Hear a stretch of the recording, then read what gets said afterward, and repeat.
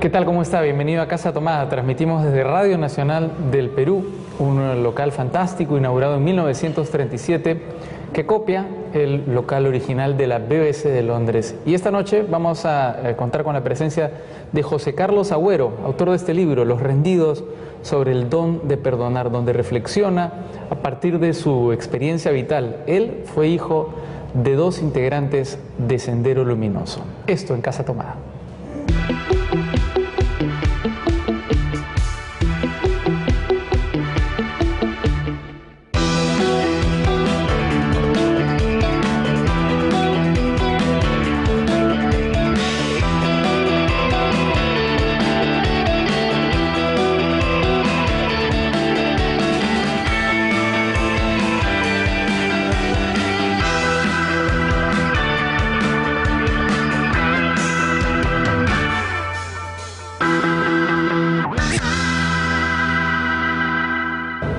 Casa Tomada desde Radio Nacional del Perú, aquí cerca del Estadio Nacional, y hoy día tengo el gusto de entrevistar a José Carlos Agüero, autor de Los Rendidos, sobre el don de perdonar, un libro fundamental que mezcla el testimonio con la reflexión, reflexión que a veces puede llegar a ser contradictoria, un libro muy conmovedor que ha sido muy comentado, que ha causado mucha impresión eh, eh, en general entre los estudiosos del fenómeno subversivo y bueno, sobre el que vamos a conversar con él. José Carlos, bienvenido, gracias por estar aquí en Casa Tomada, es un gusto.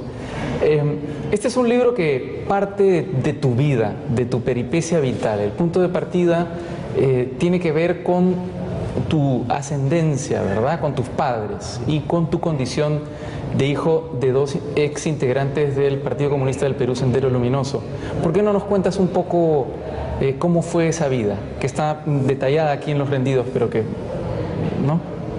Una vida compleja, eh, llena de contradicciones, pero al mismo tiempo llena de situaciones normales, normales, cotidianas una de las cosas que intento contar en el libro es justamente esa cotidianidad de lo que podríamos llamar la familia, de lo que se ha ido construyendo como los terroristas. Mis padres, ambos militaron en Centro Luminoso, mi madre y mi padre, en diferentes momentos, pero murieron también siendo militantes de Sendero Luminoso, más bien fueron asesinados extrajudicialmente. Y durante todos esos años, la vida para nosotros en mi familia, creo que en parte no fue tan diferente a la de otra cantidad de peruanos que vivían en barrios marginales de Lima. Yo viví en San Martín de Porres, en Conderilla, en Villa María del Triunfo, en el Agustino, en asentamientos humanos.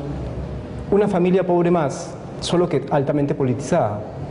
Y que sus padres hacían lo que ellos pensaban que estaban haciendo, una revolución. Estaban entregados a eso. Y igual que ellos, la enorme cantidad de gente que visitaba nuestra casa, a las que decíamos tíos o amigos o compadres, pero que eran otros militantes de Sendero Luminoso que estaban constantemente allí en lo que era nuestro hogar. Entonces era como un hogar extendido también. Eh, pero quizá mm, un poco fuera de lo que podría esperarse de un hogar de terroristas, no estaba cargado pues de, de odio, digamos, nuestra vida cotidiana y nuestras conversaciones no eran o por lo menos yo no los escuchaba, no era así, y estaba todo el tiempo ahí, ¿no? Sí. No es que fueran, hoy día vamos a destruir tal cosa, o cuánto odiamos tal otra cosa, no eran yihadistas locos, sí. Eran seres humanos bastante corrientes. ¿Tuviste una infancia feliz dentro de lo que cabe? Más o menos. No diría que feliz enteramente, no se puede, porque finalmente era un conflicto armado sí. y mis padres estaban metidos de cabeza en ese conflicto armado de manera voluntaria. Entonces había siempre mucha ansiedad, mucha tensión, porque la gente muere en los conflictos armados. La gente que estaba a nuestro alrededor o era tomada detenida, ahí se decía caían. Y sabíamos que la gente que era tomada prisionera o caía o era detenida por la policía era torturada, y todos lo sabíamos. Entonces uno siente ansiedad por los que quiere. Es raro que uno pueda decir, eh, los senderistas este, son gente que uno en principio tiende a rechazar, y es comprensible. Pero era la gente que yo quería. Claro. Era la gente que Eran tus tíos, era tu familia. Eran mis amigos, era la gente que estaba a mi alrededor. Y saber que ellos están corriendo riesgo todos los días, que pueden ser torturados, de hecho que eran torturados, que finalmente también una enorme cantidad de la gente que, que yo conocí finalmente murió. Sí. Entonces, no es que viviera el, el padecimiento todos los días, digamos, ¿no? porque también tenía barrio y salía a la calle y jugaba con mis amigos e iba al colegio, ¿no? pero no dejaba de estar presente allí como un rumor, ¿no? la ansiedad todos los días. ¿A qué edad te diste cuenta de que tu familia no era una familia convencional? Muy temprano, porque mi familia, eh, mis padres eran muy pedagógicos, por decirlo así. Eh, y nos, a, a, mí y a mis hermanos, pero a mí bastante, yo hablaré por mí, uh -huh. eh, me educaron políticamente siempre, desde muy chiquito. Mi padre me enseñó a leer, él, antes de ir al colegio, y me enseñó, me dio clases de política desde, desde que tengo uso de razón. Me dijo, esta es la izquierda, esta es la derecha y esto es lo que nosotros hacemos. Él era dirigente sindical. Entonces a mí siempre me llamaba mucho la atención las cosas que él hacía, las reuniones que tenía, los papeles que guardaba, los volantes que traía. Y no era tan normal porque las casas a nuestro alrededor no eran así, en mi barrio no era así. Y además ellos nos pedían uh -huh. que las cosas que conversábamos sobre política ¿no? en la casa no salieran de la casa. Entonces tú ya sabes que estás guardando en el fondo un secreto desde chiquito uh -huh. y te educan para guardar ese secreto. ¿Y cómo lo hacías con tus amigos? ¿Tus amigos iban a tu casa y no se daban cuenta, sospechaban? Con el tiempo esas cosas van cambiando. ¿no? Yo creo que cuando era muy chiquito mis amigos no sospechaban nada, porque todos éramos muy pequeños, digamos. Uh -huh. Algunas travesuras hicimos alguna vez, repartimos volantes que no debíamos, por ejemplo, simplemente porque nos parecía que era muy simpático repartir volantes. ¿no? Eh, luego me dijeron que no lo vuelva a hacer y que tuviera mucho cuidado y fue todo un pequeño momento de ansiedad quemando los volantes que habían sobrado, en fin, travesuras de niños. Pero luego pasamos a, pasamos a otro barrio, eh, mucho más pobre, eh, al borde del riel del tren, en el Agustino, una casa de esteras, ¿no? y allí ya la gente, la gente no es ingenua, ¿no? Eh, están los que están más cerca y saben en qué está metida esa familia, ¿no? Están los que están un radio un poco más amplio y lo sospechan, y están los que están más lejos y saben que, bueno, no están tan seguros, pero esta, esta familia y esa señora en particular es bien lideresa, ¿no? Pero no sabemos si está o no está, pero en todo caso hay que tenerla presente, ¿no? Entonces, no se puede guardar un secreto a voces tanto tiempo. ¿no? Claro. ¿Tus abuelos y tus tíos carnales qué decían en esa época? Complicado para ellos. Yo creo que ellos la han pasado mal. ¿no? Es uno de los costos pues, que tienen estas decisiones de la gente como mis padres, ¿no? Uh -huh. de los senderistas. ¿no? Ellos hicieron su guerra, hicieron su revolución, se creyeron muy altruistas ¿no? y generaron una enorme cantidad de costos a su alrededor. Eh, no solo los costos directos como muertes de gente, ¿no es cierto? Como, o atentados y víctimas que, que generaron, tanto daño que generaron, ¿no? sino también los daños no previstos, digamos. ¿no? La familia sufre, porque mi familia, sus hermanos, de, de mis padres, mi familia más amplia, no era senderista.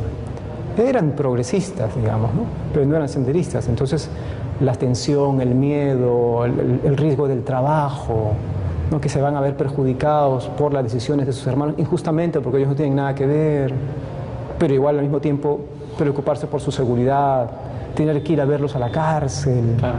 Es una carga que no habían pedido a nadie ¿no? y que vino, les vino porque alguien tomó esa decisión por ellos. ¿Cuántas veces estuvieron en la cárcel tus padres?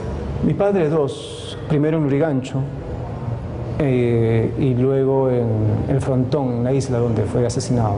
Mi Ajá. madre una. ¿Tu madre una? En, primero unos, unas semanas en el Callao, un penal muy chiquito, y luego ya en Chorrillos.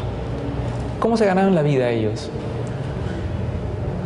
Eh, muy precaria nuestra vida, pues. En la vida, mi padre había sido dirigente sindical.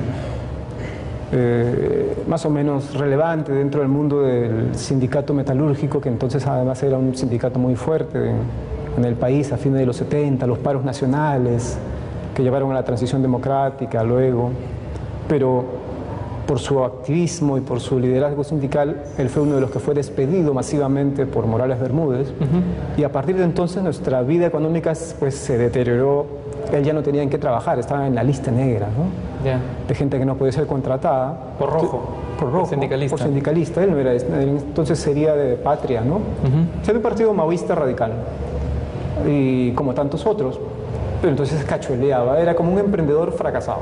Yo, era muy ingenioso, muy empeñoso, hacía cosas, pero no le salían tan bien. Aparte tenía que estar dividiendo su vida entre su, su activismo político y su, que lo seguía manteniendo siempre y el cachuelear. Mi madre también, ella mucho más comprometida con el hogar, digamos, ¿no? Estas divisiones de género que también funcionan hasta en los que se creen revolucionarios. Sí, increíble. Sí, los izquierdistas eran igual. mientras que los varones ejercían sus dirigencias y sus liderazgos y hacían la política, mi madre también la hacía. ¿eh? pero ella además tenía la responsabilidad de darnos que comer diariamente. Y lo hacía inventándose todos los trabajos que pudo, hasta el final. Eh, José Carlos, tú en tu infancia, por supuesto, con la inocencia de un niño, ¿llegaste a hacer trabajos con tus padres? ¿Llegaste a colaborar con ellos en, su lucha? Eh, de una manera eh, muy compleja, digamos, de explicar. Es decir, inevitablemente creo que en la vida cotidiana te ves involucrado en pequeños detalles, en pequeños procesos. no, por ejemplo, muchas veces fue necesario que lleváramos de un lugar a otro volantes, ¿no? o que transportáramos afiches, o que ayudáramos a quemarlos, porque sabíamos que iba a venir la policía y tienes que desaparecer los documentos que están allí. En algún momento también hemos tenido que transportar armas, ¿no? Eh, porque para Sendero Luminoso las armas eran lo más valioso que podía haber por el alto costo que para ellos significaba conseguirlas. Básicamente tenían que matar a alguien para conseguirlas. Entonces perder un medio, que era como les decían, era imposible de aceptar. Entonces, en situaciones muy excepcionales, cuando ya no había a quién más recurrir, digamos, y sabías que estaba en riesgo todo, y la, entonces era como, podrías llevarlo de aquí, acá, ¿Y como niño eso era para ti qué cosa? ¿Un juego? No, era una responsabilidad. Una responsabilidad. Era una responsabilidad porque yo les creía, pues en ese entonces. De niño yo creía que ellos estaban haciendo lo correcto. Mm. ¿No tenías el pensamiento crítico desarrollado hacia tus padres por entonces? No, creo que es algo que se va adquiriendo poco a poco. Con los años. Con los años, madurando, teniendo otras influencias, discutiendo con ellos mismos, viendo, ¿no?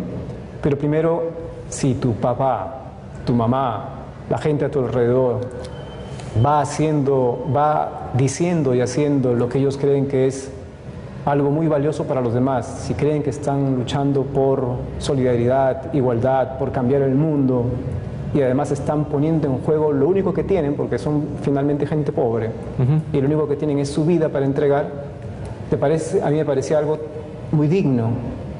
Y no tenía otra cosa más que creer que estaba bien. José Carlos, vamos a hacer una pausa en Casa Tomada y vamos a regresar para seguir conociendo tu historia, pero también para conocer las reflexiones incluidas en Los Rendidos sobre el don de perdonar, un libro muy recomendable que, insisto, ha sido muy comentado, que ha generado un gran impacto y que, bueno, seguramente también ha sido un éxito de ventas. Un poco. Eso. Vamos a hacer una pausa en Casa Tomada, regresamos.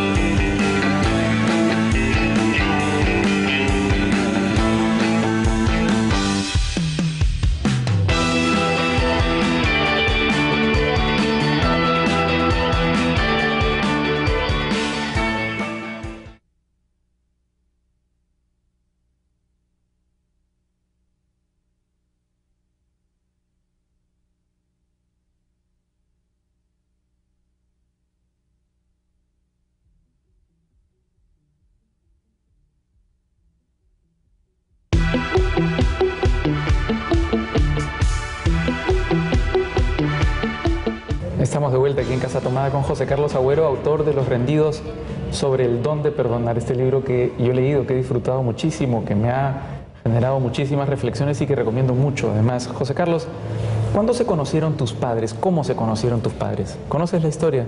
Un poco. Eh, ambos militaban en diferentes partidos de izquierda, como creo una enorme cantidad de su generación, eh, muy entusiasmada con la posibilidad de generar cambios sociales. Eh, mi madre en el MIR, mi padre en un partido más bien vinculado a la ala más tradicional de Patria.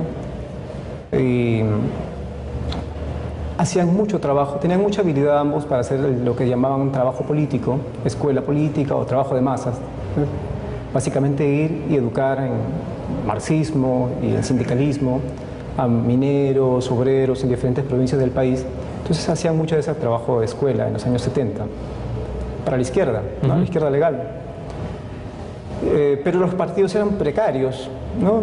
como hasta ahora, pero quizá peor entonces, ¿no? era una izquierda muy débil.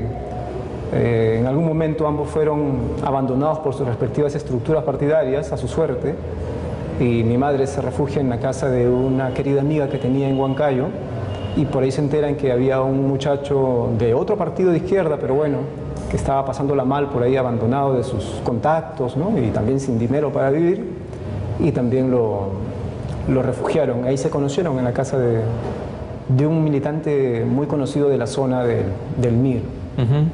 Se conocieron y ahí se enamoraron en Huancayo, digamos. Los unieron muchas cosas, supongo la afinidad de la lucha social que, que tenían, eh, ambos eran también muy vitales.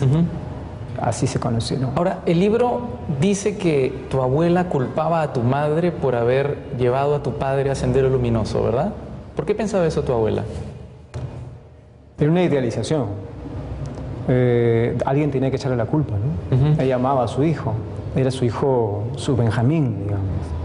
Era todas estas cosas, ¿no? El, el, hijo menor, que ella quería que se vuelva un profesional, que salga adelante, era el más blanco de la familia. Cosas que son, pesan en las familias tradicionales. Eh, había ella migrado, ella era una mujer muy fuerte, había migrado sola para educar a sus hijos de, de la sierra a Lima, a un asentamiento humano en Villa María del Triunfo. Ellos en efecto habían todos estudiado, los tres varones, en la universidad. Mi padre no llega a terminar ingeniería porque se pone a hacer muchísima política. Por ahí conoce a mi madre y todo. Eh, en la, manera en que mi, pobre abuela estructura la historia de su hijo, que finalmente para ella es frustrante, mm. que al finalmente tiene que verlo morir, ¿no? casi frente a las cámaras de televisión del mundo entero en el penal del frontón tenía que encontrar a alguien que tuviera la culpa de ese desvío, porque para ella su hijo debió haber sido el éxito. Eh, bueno, mi madre, que tenía además, no era una mujer tradicional, como ella quizá hubiera querido, era una mujer muy empoderada, aguerrida, aguerrida democrática, horizontal. Eh, ella tendría que haber sido la fuente del mal. Sin embargo, la historia no fue tan así, ¿no? Más bien yo creo que fue al revés. No podría asegurarlo, pero por lo, por lo que los conocí y por lo que conocí también a sus contemporáneos, yo más bien creo que fue más bien al revés. Tú me dices que hay un momento en el que comienzas a criticar o a debatir o a discutir con tu padre. ¿Recuerdas cómo eran esas discusiones y cuándo comenzaron? Con mi padre no tanto, con mi madre. ¿Con tu madre más? Con mi madre mucho más. Porque mi padre muere el 86 en el frontón y yo era todavía pequeño, digamos, tenía 11 años. Y si bien había tenido, había distanciado con él, eh, yo lo visitaba, igual que mis hermanos y, familia y amigos, a la isla siempre. Eh, más bien con mi madre, con, quien eh, sistemáticamente yo empiezo a discutir años después. no comparto su, su proyecto, y no porque yo sea tan lúcido, digamos, de diferenciarme, hay muchas cosas que influyen. ¿no? En primer lugar, eh, otras personas, personas que están ahí cerca, amigos de ONGs, que no dejaban de quererlos pese a que no compartían con ellos su proyecto revolucionario, entre comillas, y que estaban allí permanentemente para decir, oye, pero deja eso, sal de allí, eso no es lo correcto. Porque creciendo en este ambiente, lo lógico es que tú también te hubieses sumado al Partido Comunista del Perú Sendero Luminoso. ¿Por qué eso no pasa? Pasó en muchas familias, ¿no? Claro. En muchísimas familias sí pasó para pena, porque murieron muchísima gente, muy niños y jóvenes, ¿no? Mi padre y mi madre no quisieron. Ellos siempre nos dijeron desde chicos que ellos iban a hacer la guerra, ellos, para que nosotros no tuviéramos que hacerlo. Mm. A nosotros nos educaban, nos educaron todos los días para vivir el después. Claro, es el concepto de futuro de la revolución, ¿no? Sí, para disfrutar el, mundo que ellos imaginaban que venía, que era el de la libertad, la igualdad, ah, ya no iba a haber pobreza. Entonces mi madre me decía cosas bien simpáticas como, tú tienes que ser y estudiar algo que valga la pena luego en el mundo del nuevo Estado, ¿no? en la nueva democracia. Yo era pues bien, bien disperso, me gustaba leer, era más tirado a las humanidades, se reía de mí ¿no? y me decía, tú tienes que estudiar algo que valga la pena, ingeniería, estadística o algo, ¿no? algo que construya la nueva, la nueva sociedad. Entonces ella nos protegió. Entonces la, la historia de ellos también, la historia de mi familia es una historia en la cual ellos, aunque se meten a esta guerra bárbara y causan daño, sin duda alguna, también es una historia de amor. Claro. Porque nos protegen a nosotros, hacen la guerra, pero no, la, no permiten que nosotros nos metamos en ella.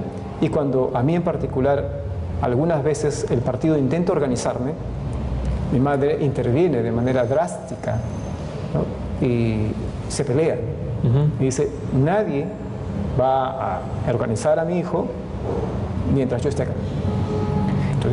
Y en estos debates que tenías con ella, ¿hablaron de delitos, hablaron de muertes? ¿Qué decía ella frente a eso? Sí, hablábamos de todo, ya, ya cuando yo estaba más grande, adolescente, ¿no? 15, 16, 17, eran debates a todo nivel porque nuestra cotidianidad era muy letrada. Leíamos siempre la prensa y los documentos del partido y la prensa estaba llena pues de noticias de atentados, no solamente de Lima, sino también del interior del país y eso era un material potente como para ponerlo sobre la mesa y decir, oye, ¿es, esto? O sea, ¿esto cómo se defiende? ¿no? Era desde el sentido común, no, desde grandes teorías. Mm. Cosas tan sencillas como, oye, pero ¿no se supone que tu partido, el P le decían ellos, el P está luchando por los pobres? Sí. ¿Y por qué matan a toda esta gente? Entonces mi madre me daba explicaciones ideológicas largas, ¿no? Y también el resto de sus compañeros, porque eran discusiones a veces colectivas. ¿no? Ajá. O por qué vuelan las torres, le decía, vuelan las torres, nos quedamos todos sin luz, después no hay pan al otro día. Las consecuencias eran en cadena, pues, ¿no? Y para nosotros el pan era, no era cualquier cosa, era el alimento principal, digamos, ¿no? Entonces traía consecuencias para la gente que se supone estás defendiendo, desde argumentos así de sencillos ¿no? y, y quizá ingenuos. Eh, Pero realistas al mismo tiempo, ¿no? Y que era nuestra vida cotidiana. Y de la gente con la cual yo vivía, con la cual iba al colegio, mis amigos y todo. ¿no? Y las muertes, además, ¿no? las muertes. Eh, eso por un lado. Por otro lado, motivos bien egoístas, ¿no? O sea, motivos absolutamente egoístas. O sea, yo temía por la vida de mi madre. Claro. Eh, no quería que muera.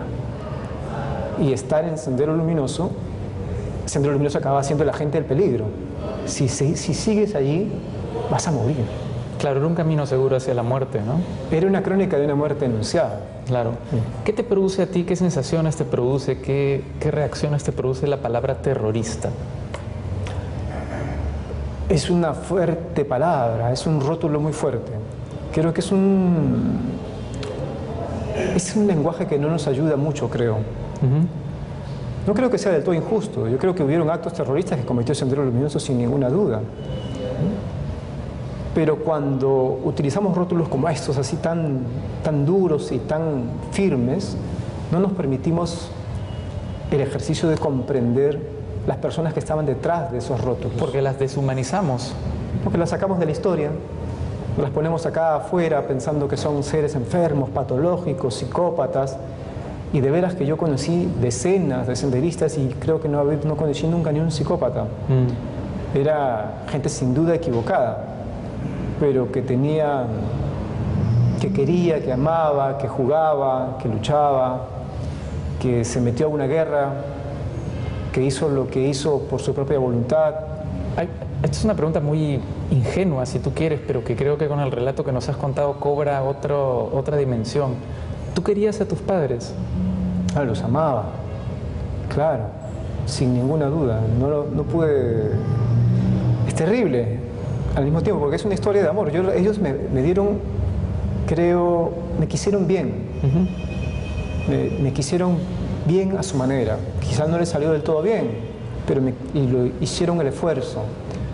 Eh, mi madre, a la cual siempre el partido le estaba exigiendo que pasara a la clandestinidad y se dejara de andar criando mocosos, no lo hizo. Y aprecio mucho ese esfuerzo. Nos, nos dio que comer hasta el último día de su vida. Ella fue ejecutada este, judicialmente, asesinada por, es muy probable que por agentes del ejército, saliendo de su trabajo en la Universidad de San Marcos. ella, fotocopiaba, ¿no? Era Tipeaba máquina, trabajos de los alumnos en una tiendecita. Salió y una camioneta le hizo subir y luego la asesinaron en Chorrillos. En una playa de Chorrillos. En una playa de Chorrillos. Eh, aprecio eso. Ella, el partido le, pedía, tenía otra exigencia hacia ella, que hiciera la revolución en serio, que se dejara de, de cuidar mocosos. Y ella no dejó nunca de trabajar para nosotros y eso le generaba problemas. También pudo irse del país. Todo el mundo le pedía que se fuera del país, no sus amigos, las ONGs, nosotros. Las familias le pedía que se vaya para que no la maten. No lo hizo, tal vez no lo hizo en parte para protegernos. Por otra parte, sí no acabo de entender del todo sus razones. Claro. Sí, de por qué no se fue porque también ella ya en determinado momento, desde el 90, 91, 92 sobre todo, ya empieza a descreer mucho de su partido. Ella también fue crítica. No la vi tan crítica, la vi más bien decepcionada. Decepcionada. Decepcionada, no, no, la, no era la misma. Creo que era muy consciente de que ya no iba a ningún lado esto y que no tenía mucho sentido lo que estaban haciendo, ni tampoco pensaba que iban a ganar hay cierta inercia en ella. Sabe que va a morir, además yo estoy seguro que sí, porque... ¿Tú crees que es este fenómeno de haber vivido por algo y haber vivido tanto tiempo por eso que al final prefieres morir en eso que reconocer que tu vida fue en vano? Yo creo que hay un poco de eso. Es decir, tiene que tener sentido tu existencia. Y ha entregado tanto que rendir todo eso al final en algún momento debe haber sido muy complicado para algunos. Muchos se fueron, otros salieron. Ella no lo pudo hacer. No estoy del todo seguro de por qué no. Vamos a hacer una nueva pausa aquí en Casa Tomada y vamos a seguir conversando con José Carlos Agüero, insisto, autor de Los Rendidos sobre el don de perdonar. Le recomiendo mucho, insisto también este libro, porque yo creo que abre un una nueva mirada sobre el fenómeno de la subversión en nuestro país, una mirada más humana. Con el tiempo es bueno ahondar en estos asuntos desde diferentes perspectivas. Y parece que la perspectiva sobre la violencia, los años de violencia en nuestro país está agotada, pero libros como Los Rendidos demuestra que no. Vamos a hacer una pausa en Casa Tomada y regresamos.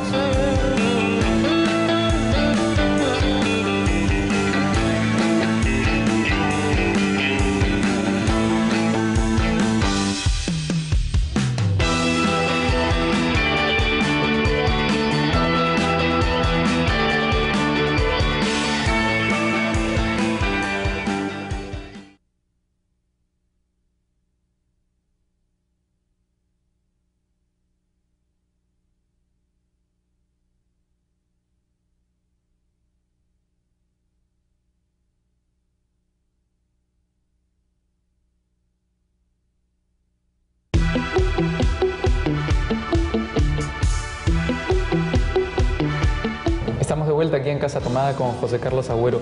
Eh, José Carlos, tú has mencionado varias veces al partido, ¿no? Lo has mencionado casi como si fuese una persona, como si fuera una entidad. ¿Qué era para ti exactamente el partido? Al comienzo de niño era como una cosa muy importante. Era era el aparato y la gente que veía que estaban haciendo algo importante para el país algo que además tenía que ser medio secreto y por lo mismo también tenía su halo de, misterio, de importancia, de profundidad. Eh, nadie hablaba de sendero luminoso, digamos, esa era la manera en que la cual lo conocía la opinión pública, pero la gente a mi alrededor, los senderistas, hablaban del partido su abreviación, el P, entonces el P por aquí, el P por acá, el presidente Gonzalo, ¿no? los documentos. Era todo un, universo de símbolos y de acciones que hacían que tuviera importancia en mi vida, sin duda. Eh, luego se va volviendo más bien un peso en mi vida, ¿no? algo, algo que cada vez se va volviendo, en vez de una compañía agradable o un entorno agradable, algo que quieres quitarte encima, porque básicamente, otra vez, motivos egoístas, lo que hace es generar miedo. A mí me da miedo, todos los días estar, pero no un miedo por mí, miedo por mi madre, que mi padre ya había muerto y yo no quería que mi madre muriera también. Entonces en, esa, en esos años, mientras ella estuvo viviendo su vida política, Eh, yo al mismo tiempo que vivía mi vida normal, común y corriente como cualquier niño en el colegio, y luego en la universidad, tenía la ansiedad de ¿qué le pasará? Eh, ¿Vendrá esta noche a dormir o no? ¿La detendrán? ¿La llegarán a torturar? Cuando a veces desaparecía varios días, o sea, lo que yo pensaba es ¿dónde estará? Ahora, ¿a quién hay que llamar? ¿no? Porque había que movilizar los contactos para ver... ¿Ella te contaba dónde estaba? ¿Dónde había estado?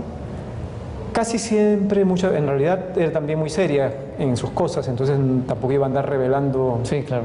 cuestiones del partido, pero nos daba suficientes elementos para tranquilizarnos, digamos. ¿no? ¿no? se preocupen tanto, este, estoy bien, y si nos llegara a estar mal, les avisaré, habrá alguien que les dirá. Pero igual se generaba zozobra. Claro. ¿Y tú te acuerdas del día de la captura de Abimael Guzmán? Sí, sí. ¿Cómo fue en casa ese momento? Mi madre ya había muerto. Mi madre murió en mayo del 92, Abimael es detenido en septiembre. La verdad que a mí me alegró mucho. Yo no es que lo odiara, pero sí creo que es un personaje muy oscuro. Y por lo menos en ese, en ese momento de mi vida, con mi madre recién muerta, meses antes, no es que le echara la culpa de nada realmente a Abimael, porque creo que mis padres eran seres con voluntad propia. Claro que habían elegido su propio rumbo y destino. Pero al mismo tiempo, eh, como que era descansar. Ya por fin este señor se va a ir preso. Preso, ¿no? Y creo que lo merecía bastante. Por entonces ya estabas en la universidad, ¿no? En San Marcos. Estabas en San Marcos. San Marcos estaba muy politizada también. Sí, sí, en esa época. Eh, y en ese momento es que a ti tratan de eh, incorporarte al partido, ¿verdad? En San Marcos. ¿Cómo fue ese proceso? Cuando mi madre muere, eh, ella la asesina muy posiblemente el, ejército peruano, este, de esas fuerzas operativas. ¿no? Hubieron muchos asesinatos selectivos durante ese, ese año.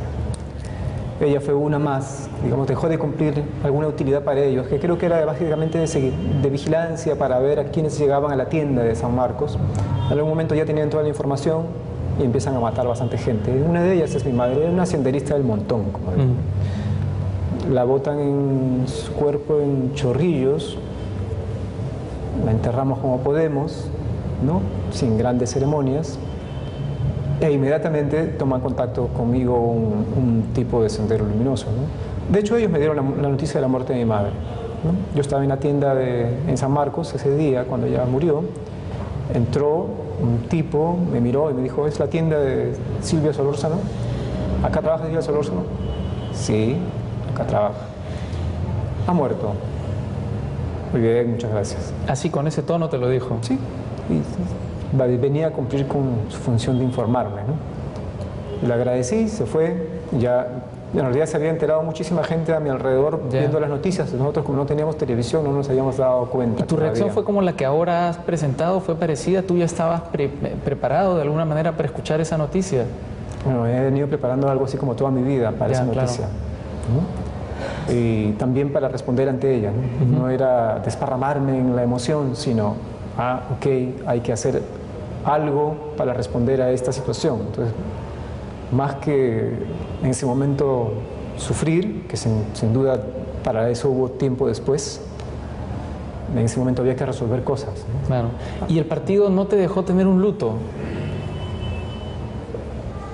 Eso es una cosa bien, yo diría infame también, por ejemplo, ¿no? Una de las cosas infames de este partido. Cuando eh, mi madre muere, pasa una semana, yo estoy en mi facultad yendo a clases como cualquier otro, se me acerca alguien que yo nunca había visto, yo, había, yo conocía muchísima gente de Sendero, en San Marcos y fuera de ella, y esta persona no la había visto jamás, y me empieza a hablar. Me dice, quiero hablar con usted, usted es el hijo de tal. Y me dice, mire, su madre ha sido asesinada por el ejército, por la represión, por el Estado, y a usted le corresponde tomar su lugar para reivindicar su nombre, claro, Lo que quería era aprovechar tu odio. Sí, y unirse al, a nuestra revolución. ¿no? Y la, la verdad que básicamente había una mezcla de sentimientos, ¿no? Lo desprecié bastante, esa es la verdad. ya, quizá ahora suene duro, ¿no? Yo creo que ahora ya no siento lo mismo, pero en ese momento es lo que sentía. ¿Y cómo le respondiste? Tampoco sabía mucho qué responderle, la verdad. Eh, no estaba, esa era una conversación complicada. Claro. Entonces le di largas al inicio. Mira, lo voy a pensar, ¿no? Este, déjame, ¿sabes qué? Yo quiero acumular información adecuada sobre cómo murió mi madre, porque tampoco estoy seguro de que haya sido el ejército. También pudieron haber sido ustedes. ¿Le dijiste eso? Le dije eso sabiendo que era mentira en realidad, pero era como una estrategia para que me dejara en paz un tiempo, ¿no? Pero luego insistió, otros días, ¿no? Y ahí le dije que se fuera, ¿no? Que no, que me dejara en paz y que yo iba a hacer mis averiguaciones por mi cuenta y él me pidió, eh, muy molesto ahí sí, ¿no? Que el único canal con el partido fuera él. Ya. Y yo le dije, mira, eso tú me lo podrás pedir, pero yo tengo mis propios canales con el partido, un poco fanfarroneándole también, ¿no? Este, yo veré con quién, con quién hablo y con quién no hablo. Eh, me pareció bastante infame, ¿no? Claro. ese, y, no y, solamente no lo han hecho conmigo, ¿no? Eh, sino con muchísima gente a la cual han querido movilizar en su natural, creo, indignación, revancha y resentimiento. ¿no? Finalmente mi madre fue ejecutada extrajudicialmente por agentes de seguridad del Estado. Sí. Yo creo que es natural que mucha gente sienta resentimiento ante el Estado por esa manera en que matan a los seres que quieres. Tú eres una persona que se ha dedicado a los derechos humanos. Sí. Eres una persona que además tiene un diplomado y que ha hecho mucho trabajo de campo sobre derechos humanos. Eh, ¿Cómo explicas tú eso, esa reacción absolutamente opuesta, digamos, contraria a lo que hacían tus padres? Porque es casi como, no sé, eh, como que el hijo de un ladrón sea un sacerdote, para poner una metáfora muy sencilla, la primera que se me ocurre. Quizá, quizá, bueno, hay varias razones, no son tan sencillas, pero quizás es porque no, son, no es tan raro, o sea, no es tan diferente, porque no es tanto como el ladrón y el sacerdote. Eh, mis padres sin duda eh, fueron gente muy equivocada. Ellos pensaban que estaban haciendo una revolución y yo pienso que estaban siendo profundamente reaccionarios al hacer la revolución por gente a la que nadie les había pedido que les hicieran la revolución. Ya. Los estaban sustituyendo de una manera bastante bárbara, además, ellos y todos los que militaron en Sendero Luminoso y en el MRTA. Pero había detrás de ellos fuertes motivaciones morales que, eran, que son los valores que a mí me, me transmitieron y que tenían que ver con solidaridad, justicia, comparte con los demás, haz algo por el resto y en realidad fue una pedagogía muy fuerte que caló en mí y creo que en muchas otras personas. Es decir, no puede tener sentido tu existencia si es que no es en relación con los demás. Esa enseñanza, ¿no? que no es la enseñanza de inscríbete en el partido, sino los valores que estaban detrás de esta gente que se motivó para hacer toda esta guerra infame, es lo que finalmente a mí me ha hecho lo que soy, creo. Te quedaste con todo lo positivo. Es la herencia de ellos. Ajá. Y esa herencia, creo que, que, es una parte de la herencia de la izquierda peruana, ¿no? es también recogida por las ONGs que son parte de la izquierda peruana. En ¿Tú te reconoces una persona de izquierda? Yo creo que lo he sido de alguna manera por mucho tiempo, por herencia, ¿no? Y por estas, estos valores de la solidaridad. Uh -huh. eh, que fundaron en mí mis, mis, padres y luego el haber militado en el movimiento de derechos humanos, porque el movimiento de derechos humanos en el Perú es un movimiento de izquierda. Claro. Sí, eh, estrictamente hablando, además no solamente por los valores, sino porque lo formaron militantes de los partidos de izquierda. Sí. Entonces también es por ahí, ¿no? Este, estos valores no son tan diferentes. Eh, las decisiones son diferentes. Las decisiones son las que nos hacen diferentes, el ejercicio de la voluntad. Claro. Y, le, y, el tipo de ideología que usaron como instrumento para ejercer claro. violencia. ¿no? Como dice Camus, el uso de tu no. El uso de tu no. Vamos a hacer una pausa, José Carlos, y vamos a regresar con el último bloque de Casa Tomada para hablar en concreto del libro, Los Rendidos. ¿Cómo es que se te ocurrió escribirlo? ¿Qué has sentido al hacerlo? ¿Tuviste pudor al hacerlo? Vamos a saber todo eso cuando volvamos. ¿Te parece?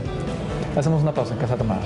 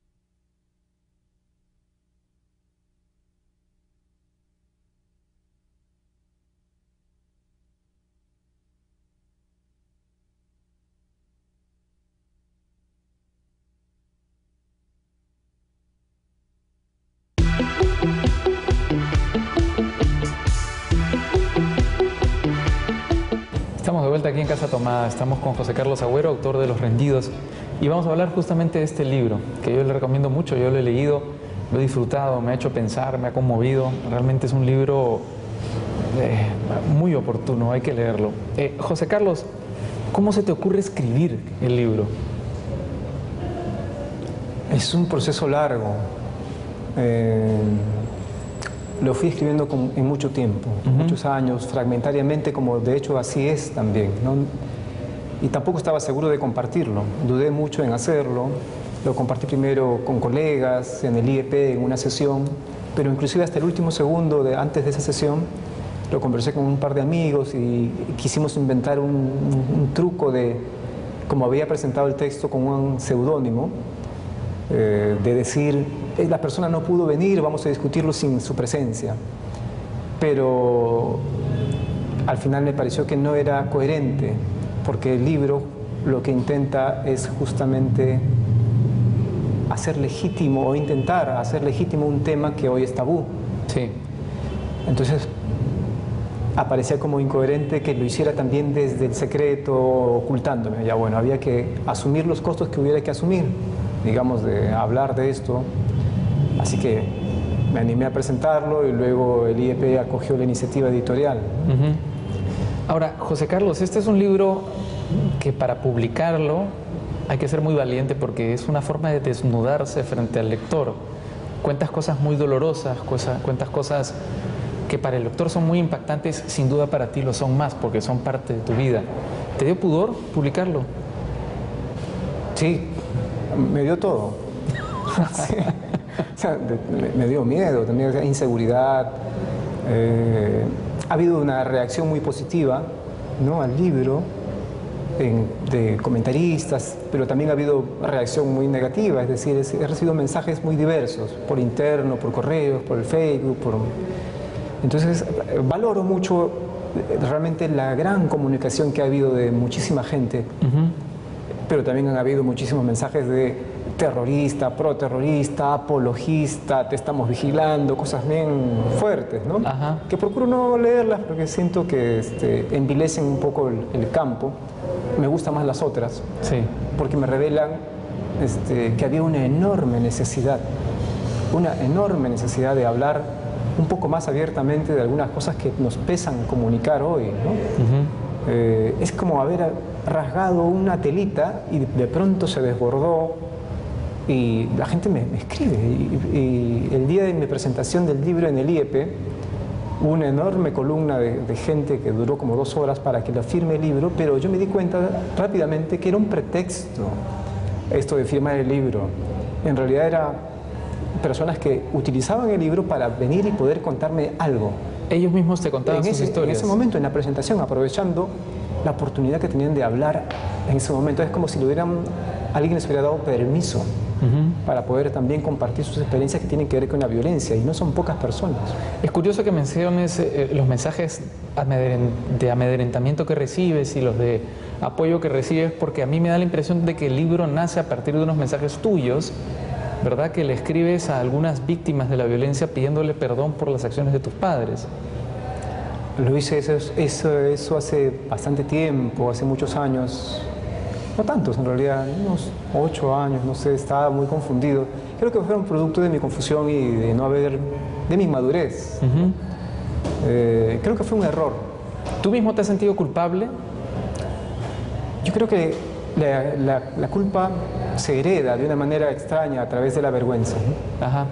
Es, es, una mezcla de cosas complejas. Eh, sin duda mis padres los quiero y para todos nosotros, para ti, para cualquiera, la familia es algo muy valioso y nuestra principal fuente de orgullo. Sí.